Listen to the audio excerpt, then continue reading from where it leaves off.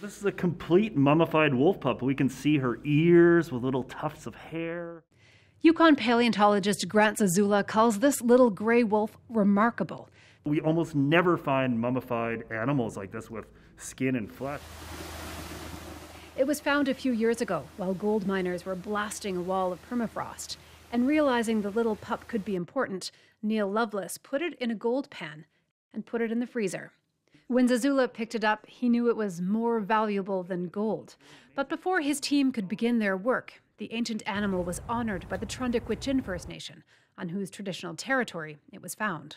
Elders gathered together quite quickly, and um, they wanted to show respect with um, with this baby um, baby wolf, uh, which we call um, uh, little Zhùr now, uh, which in Han language it means uh, little wolf.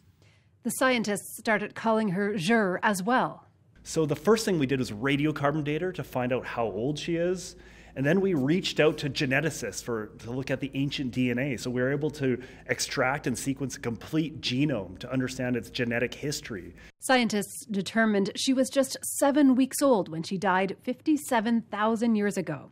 And genetic testing reveals she isn't related to contemporary North American wolves, but rather Ice Age wolves from Russia when we did her x-rays we found out we, she still even has all her organs intact which is incredible. So she's basically like 100% intact.